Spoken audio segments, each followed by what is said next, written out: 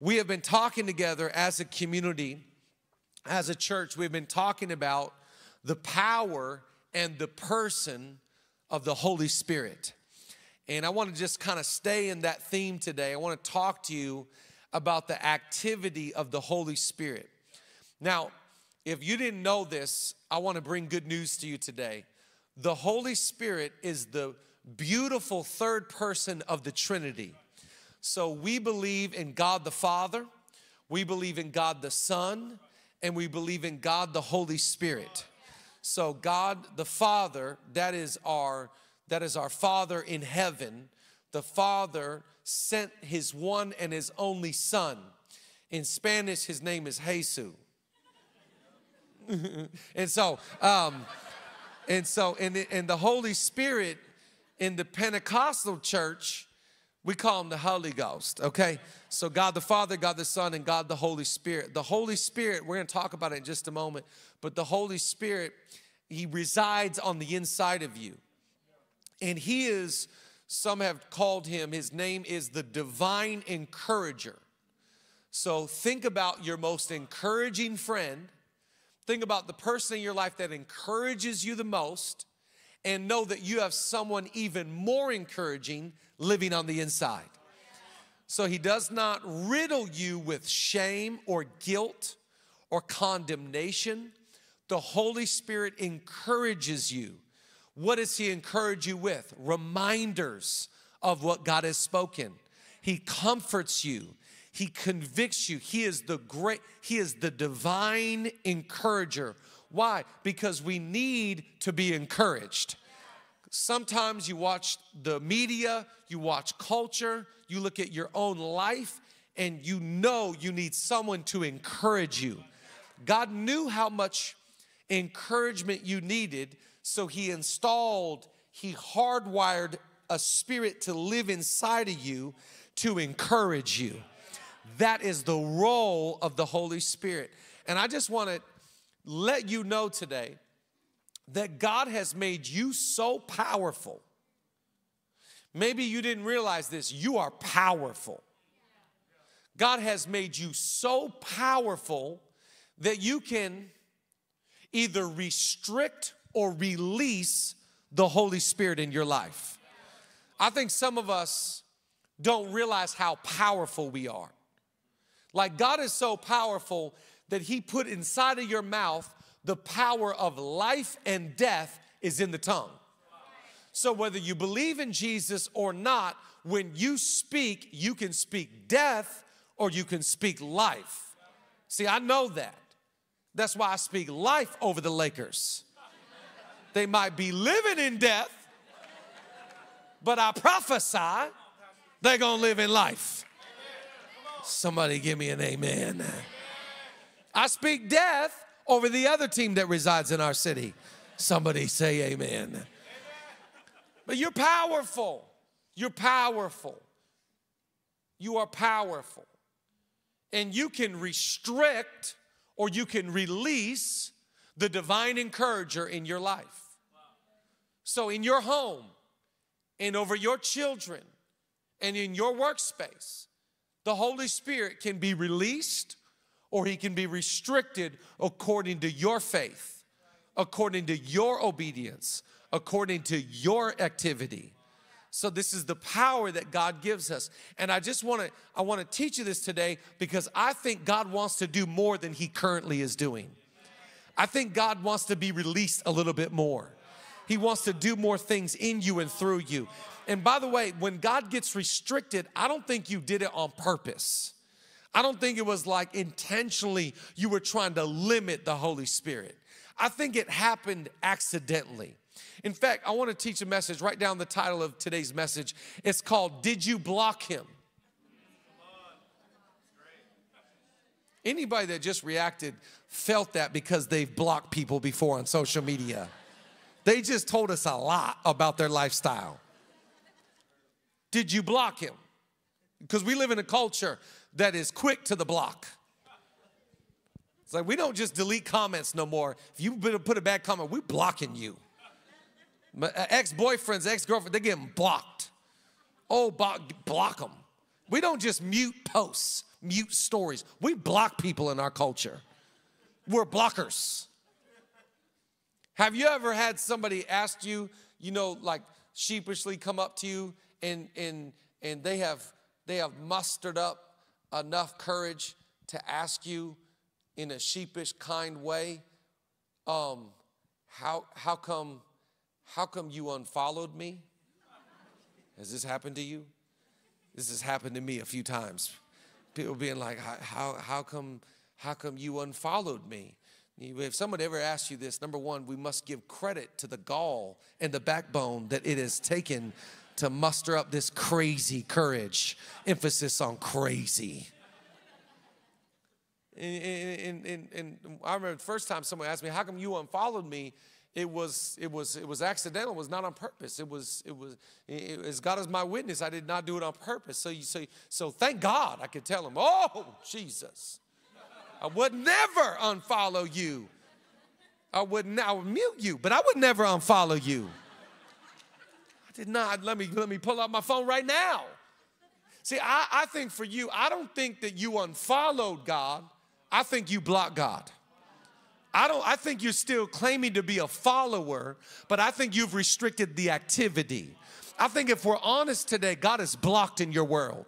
In fact, you give God about 60 minutes a Sunday to talk to your life. But come Monday through Saturday, He's blocked.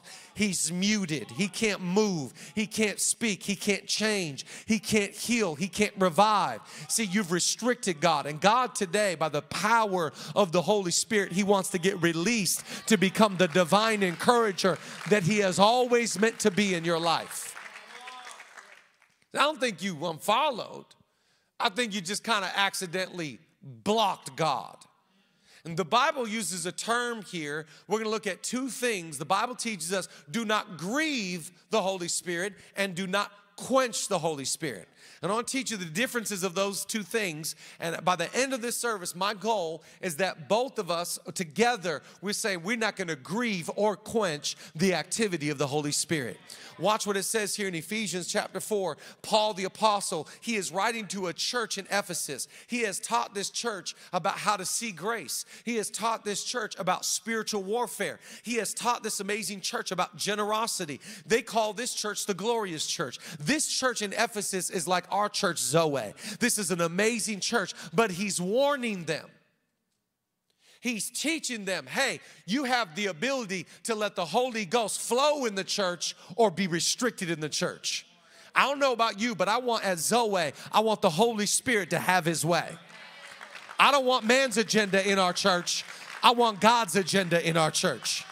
He's teaching Zoe, he's teaching Ephesus. This is how church and life is built. It's not by power, it's not by might, it's by my spirit, says the Lord. Watch what he says here Ephesians 4 29. Do not let any unwholesome talk come out of your mouths. Some of y'all need some soap in your mouth, but only what is helpful for building others up according to their needs, that it may benefit those who listen. And do not grieve the Holy Spirit of God, with whom you were sealed for the day of redemption. Let me pause there real fast. Sealed, what does that mean? You were sealed by the Holy Spirit. The Holy Spirit seals you for the day of redemption, for when you go to heaven. Sealed. Why are you sealed by the Holy Spirit?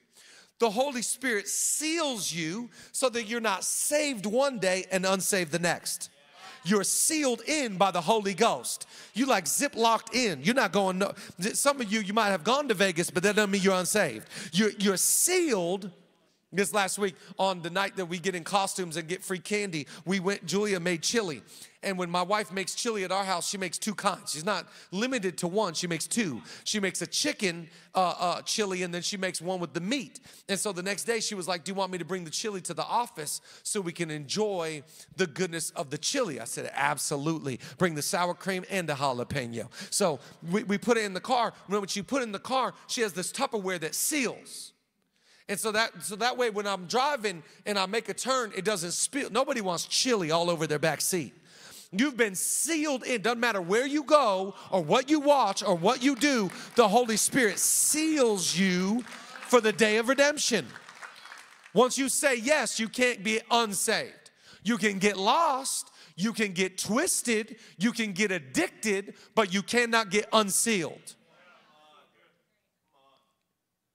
Get rid of all bitterness, rage, and anger, brawling, and slander, along with every form of malice. Now watch, that's what he said to the church in Ephesus. Watch what he says to Thessalonica, 1 Thessalonians 5:19, and do not quench the spirit. Do not quench. So he said to one church, do not grieve, and to another, do not quench. Do not grieve the Holy Spirit, and do not quench the Holy Spirit. The first thing that I need you to understand, write down number one the Holy Spirit is a person. He is a person with a personality. He is not an it.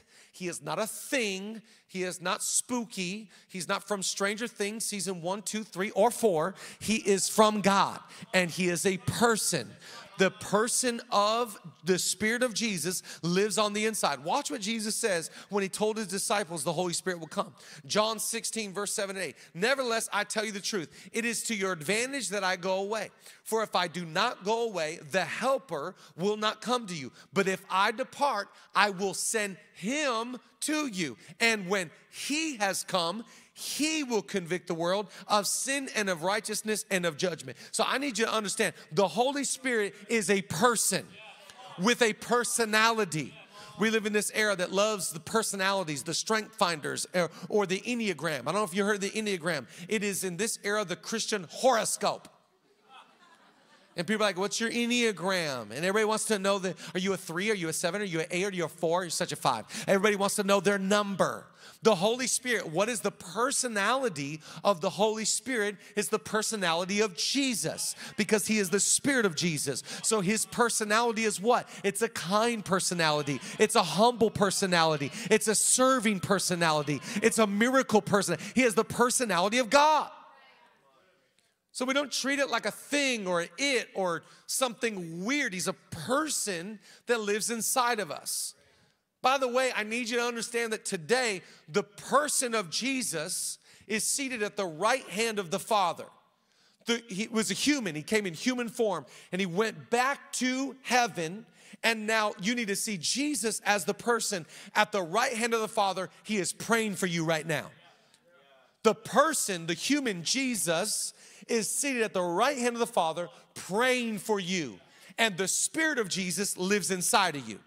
The Bible teaches us that the Spirit no longer lives in tents or in churches or in buildings. He doesn't live in the Highland Park building we bought or in the Miguel Contreras. He's not limited to a YouTube channel. The Holy Spirit lives inside of you, He takes residence in you. This is His address, you.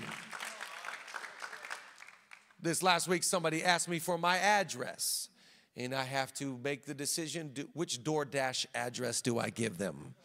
my office or my home? If you're wondering where the Holy Spirit takes residence, he lived the person of the Holy Spirit lives inside of you. And because he lives inside of us, we we with all of our heart, we do not want to grieve him or quench him. Now, grieving the Holy Spirit has to do with, write down number two, grieving has to do with your character grieving is character. Now, now we're talking about your character. Now we're talking about your inner world. Now we're talking about what people cannot see. People see cars and, and money, and people see uh, fashion and smiles, but only the Holy Spirit sees your inner world. Only the, only, only the Holy Spirit knows who you really are. And so remember, everything about God is inside out. Religion is all outside in. Religion says play the part, dress the part, talk the part, act the part, but you don't have to be the part. Relationship with grace or relationship with the Holy Spirit says, I don't care about fashion, I care about your heart. Remember, man looks at the outward appearance, but the Holy Spirit looks at the heart. So if you ever want to please God, it's not by how much money you give, it's how much residence you allow him to have in your life. You cannot fool the Holy Spirit. So you so so the Holy Spirit the Bible says, do not grieve him. Now, I just want you to understand what grieving, what would grieving look like? Just watch on the screen. Grieving is make him sad, cause grief, offend, cause distress, uneasy, sorrowful. Do you realize that there are things, there are attitudes in your life, there are things that you do that could potentially make the Holy Spirit sad, that could make the Holy Spirit be provoked to, to conflict, to, to, to sorrow, to be like, ah. And if you don't think God has emotions, you need to look at the Old Testament and the New. In the Old Testament, God has such emotion that He's like, you know what? Noah, make build an ark. I'm done with these guys. Get them out of here. I'm just out. In the New Testament, Jesus walks into a church, starts flipping tables because he's angry. He's in the Garden of Gethsemane. He's in so much sorrow, he's, his, his sweat turns to blood. So emotions are in you because emotions are in God. And the Holy Spirit has, you can make the Holy Spirit excited and happy and proud, or you have the potential to make the Holy Spirit sorrowful, cause to grief, cause to, to, to sadness. And I don't know about you, but I want God to be happy and proud. I do not want him to be grieving over the decisions I'm making. So you're like, well, what? What could I potentially be doing that would ever cause him grief? Well, Paul lays it out here in the verses prior. Watch what he says in verse 25. He says, Lying grieves the Holy Spirit.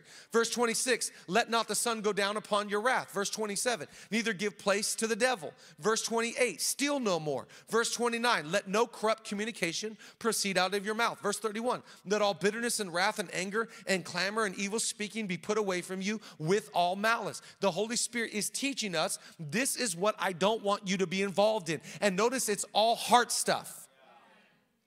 The Holy Spirit's like, no, no, no. I want to wash your heart. I want to cleanse your heart. I don't want your heart being filled with anger and malice and bitterness and offense. I don't want you to let your sun go down. Have, let me just ask you have you ever gone to bed angry? The other night, I went to bed, 30 seconds left in the Laker game. I knew they were going to lose. I'm watching on my phone on the couch. Julia's on her laptop. 30 seconds left. I go, I'm done. I'm out of here. Going to bed. Good night. I love you. I'm out. Go to my bed, plug in my phone. Ah. Wake up the next morning. I'm doing a November challenge, 6 a.m. 6 a.m. I wake up. I'm walking to the room to see, uh, to my kitchen to see the final score. They won. I go, they won? what? They won? I went to bed angry. The Bible is literally saying, I'm using a facetious story, but don't go to bed angry with each other. If you have offense, if you have an issue, if you got a problem, don't lie, don't steal, don't live a life like that. No, the Holy Spirit wants to talk to you about your character.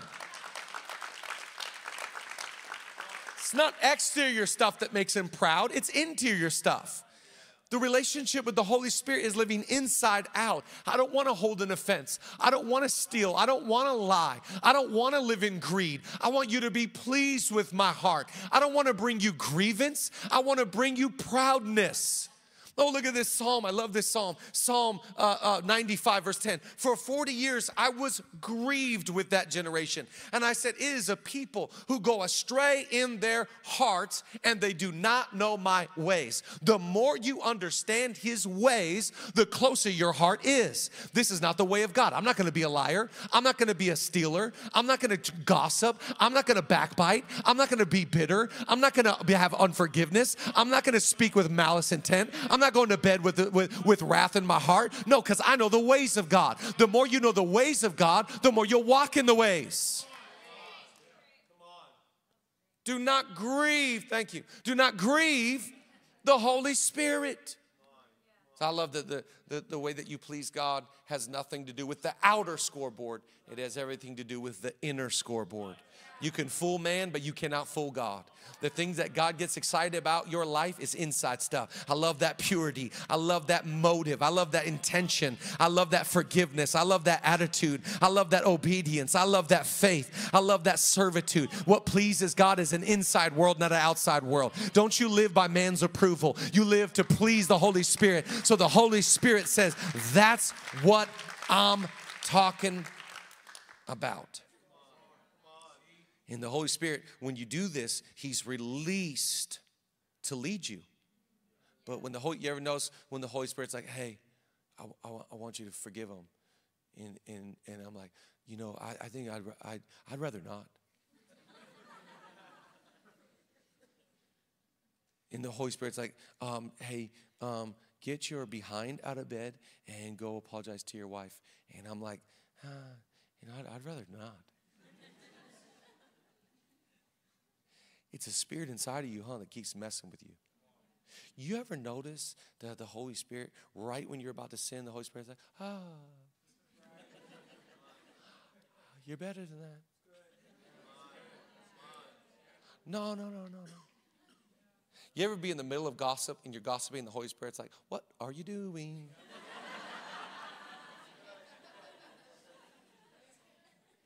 you ever notice? Holy Spirit just does a little jingle. We've already talked about this. It's a spirit, isn't it?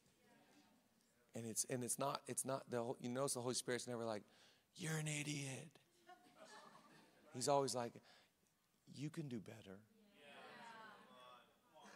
You know what's on your life. You know what's godly. You ever notice when you when you when you want to even indulge in sin, there's something in you that doesn't just resonate. It's like I just don't feel right. Some of you need to stop trying to find black and white scriptures about why you have such a conviction about certain things. You need to trust the Holy Spirit. That the Holy Spirit's going, we're not, your body's mine. I live inside of you, so you're not sleeping around like that. Your eyes are mine. You're not looking at that. Your mouth is my mouth. So when you speak, I want you to speak on behalf of me. You're an ambassador. It's the Holy Spirit. You know, we, we love in culture like level up, it's not like a song. I'm gonna level up. Culture's like talking about a car or an outfit or a watch. You wanna level up? Start obeying the Holy Spirit. That's how you level up. That's how you get out of the ashes and into the rock. Standing on that's why the Bible says in Proverbs that those who walk with integrity walk securely. And the Holy Spirit's trying to get you to walk securely. The other day, we had to pull somebody in the office, and we called them in the office. And on their walk from the time the person said, Can you come meet with Pastor Chad and Julia, to when they're walking the office, they went through the, everything they've done the last three months. Oh my gosh, oh my gosh, oh my gosh, oh my gosh. Oh She's like, By the time I sat down, I was like, I think I'm good. I'm like, Good job. But the Holy Spirit is trying to get you to live conscience free. You're not, your, your conscience is not messing with you.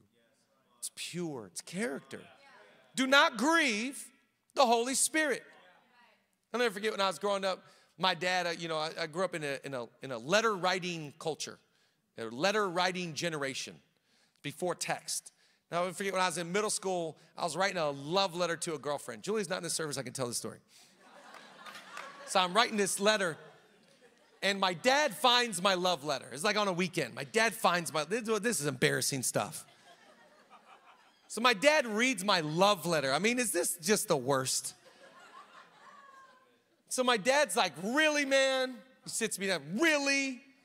And I'll never forget the thing he was really upset about was like my aunt from Mexico was visiting my my don't laugh at me, you guys. This is really, this is my aunt. My, my tia from Mexico was visiting. Her name is Sarabella. I get it, Sarabella. And so um, my tia Sarabella was in town. And I'm, I'm like in middle school, so it's like I'm working out all the attitude and the rebellion and the punkness. And so I'm telling this girl that I'm trying to impress, like, and I, and I, and I said some dumb stuff like, you know, my aunt is in town and it's so dumb. We have to host her. Just classic middle school attitude. This is so stupid. I'm just like writing this stuff. And my dad finds this letter. He sits me down. He's like, This is how you feel about your aunt? I was like, No, I'm sorry.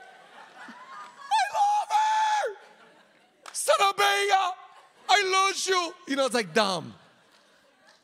But it's like sometimes you you need the Holy Spirit to be like, really? You text that? You said that? You sat around the table. You did what with your money? You don't even have that money. Why are you spending money you don't have? You're not tithing. Like, what? Sometimes you need the Holy Spirit to say, It grieves me that you talk like that. It grieves me that you got that rebellion still. It grieves me that you're acting like a 13 year old. It grieves me that you don't want to serve. It grieves me that you don't love me with all your heart, soul, mind, and strength. I don't want to grieve the Holy Spirit. The first one is character. The second one is power. Do not quench the Holy Spirit. Another way you could say that is don't stifle the Holy Spirit. Let the Holy Spirit have his way. Let the Holy Spirit have room. Let the Holy Spirit do what the Holy Spirit wants to do. The first one is for you, and the second one is for others. The first one's all about your inner world, the second is all about what comes out of your world. The first one's an inside job, and the second one is an outside job. Do not quench the Holy Spirit. The Holy Spirit wants to move. The Holy Spirit wants to, to use your life and your witness and your money and your time. And the Holy Spirit, don't, don't, don't restrict him because there's power that could flow. The kingdom, listen, the kingdom that you are now a part of, now a part of, is not a kingdom of words. It's a kingdom of power. But it can only powerfully work through those who don't quench the Holy Spirit. And, and, just a heads up, have you noticed that God does not ever inquire of you if it's okay when He wants to use you? The last time I checked with God, God's not like, hey, I was thinking Tuesday, 3:30. What do you want? and I'm just gonna like, I'm just, you're gonna, it, it, let's just set this whole thing up. You're gonna be at a Starbucks, you're gonna see a barista, she's gonna start crying, she's gonna be discouraged. Here's the verse I want you to use, it'll be in your email, and I want you to, it just never works like that, does it? Everything that Jesus did was interrupted. He's like on his way to go heal this one guy's daughter and this woman with the issue of, he's like on his way to go to this one thing and this blind guy. He's, he's like just doing the YMCA at a wedding, and his mom's like, they ran out of Merlot. they ran out of Merlot. You know, your mother loves Merlot. He's like, I don't, I don't know if this is the right Merlot. I thought you were, anyways. Um, everything about God is interrupting your life. And if you want to live on your agenda, you're going to restrict him. But if you want to live on His agenda, you're going to release Him. That's why I think you should set an alarm in your phone, and tomorrow when you wake up, just go, Good morning, Holy Spirit. The beautiful third person of the Trinity. What do you want to do in me? And what do you want to do through me? If there's any character stuff that you're concerned about, I just want to let you know you can talk to me about anything. You know, I think the problem for most of us is that there's still parts of your life that are off limits to God. God, you can talk to me about anything, but don't you dare bring up that one thing, one issue. That's mine.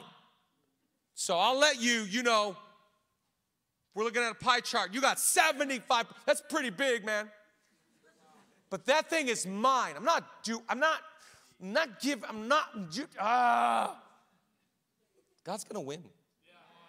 I don't know, I don't know if you've realized this yet, but God's gonna win. His will is gonna, his plans, and, and you know how he's gonna win? he's gonna win through kindness. It's not gonna beat you by going, You wanna fight me?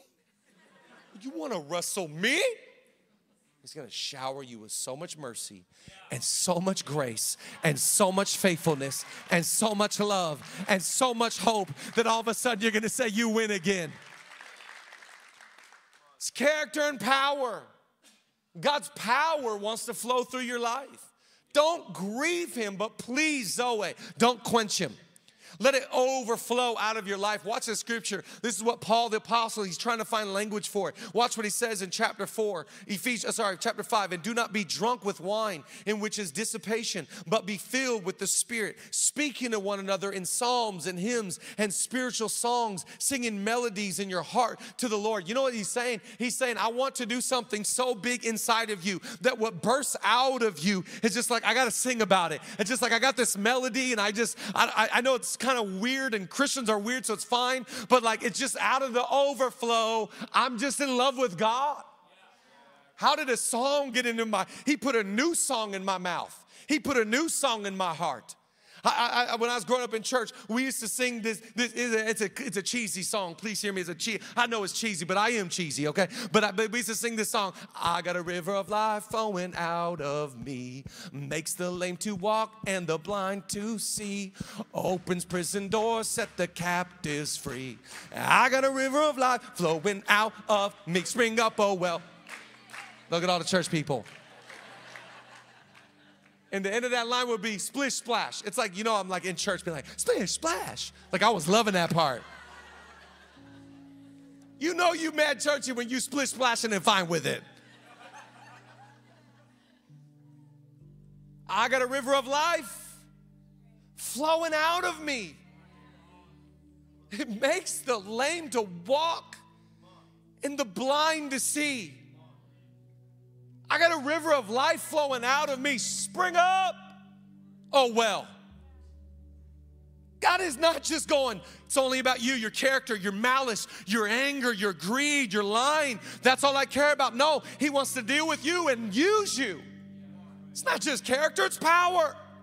The power of God is not limited to 60 minutes in a service on a Sunday. It's not limited to a YouTube channel. It's not limited to a podcast. The power of God wants to move in our homes.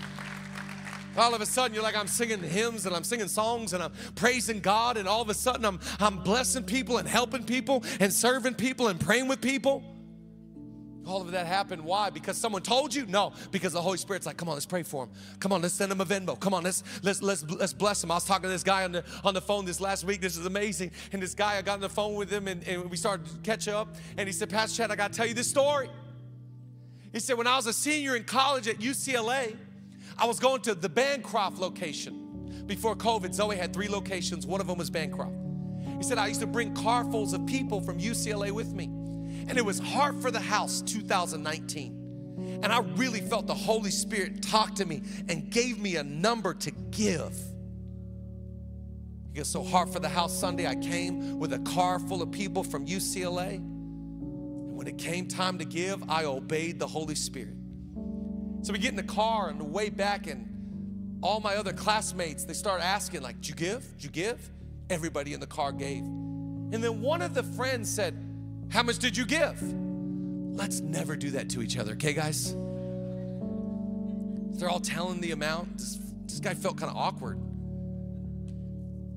because the Holy Spirit gave him a number $2,000. So when it came time for him, he's like, I gave $2,000. All of his friends were like, dang, we didn't know you balling like that, dog. He's like, nah, I only had $2,500 in my account, but I knew that God talked to me about giving. He said, Pastor Chad, when I graduated from UCLA, God gave me an idea to start an online course, and this is what I taught. And it did so well in the first year, I sold over $500,000 worth of online class. I said, dang. He said after the first year it did so good, the next year we did five million. I said, How did you give at the heart for the house again? Jesus is Lord. He said, didn't stop there. He said that five million this year, if we close the books, we're gonna close it. It looks like off of our projections, we're gonna end at $15 million. I said, Man, praise God. He said, But Pastor Chad, I know that if I was not obedient to what God told me in that heart for the house to give that $2,000, I really believe with all my heart that I never would have stepped into the 500,000, into the 5 million, into the 15 million. Hear me today, loved one. I'm not saying that if you give to God, you're going to get millions. That's not what I'm saying. What I'm saying is obey the power of the Holy Spirit, obey the prompting, obey the leading. Let's start living spirit filled, but let's start living spirit led. Don't block God. Stop blocking God. So God, He don't want to be restricted. He wants to be released. To grieve him? My dad's sitting there like, You feel this way about your aunt? No, I don't. I love her. Some of you today are like, I love you, Jesus, but I just. Some of you know God's been talking to you like, I want to use you. I want to use that space. I want to use that gift. I want to use that story that you got. Oh God, I don't know. I'm busy. I, I got too much in this season. I, I, I'm, I'm tired. I'm, I'm maxed. You're not too maxed for God. Don't you believe the lie of the world and the lie of culture that you're too busy to be used by God? God's got just enough margin. He's got just enough grace. He's got just enough power to use somebody like you. Did you block him? Did you? Did you block God? Did you block God? I don't think you did it on purpose. But I hear the Holy Spirit saying, I want to be released. At Zoe Church, I want to be released. I'm not going to build a church that you come on a Sunday and drink from a fire hose and go and try and take it all till the next Sunday. Tomorrow, I'm gonna fill you up again. And Tuesday, I'm gonna fill you up again. And Wednesday, I'm gonna keep on speaking and keep on loving and keep on helping and keep on showering you with my grace. Come on, stand to your feet today. Jesus, we love you today with all of our heart. We thank you, Spirit of the living God.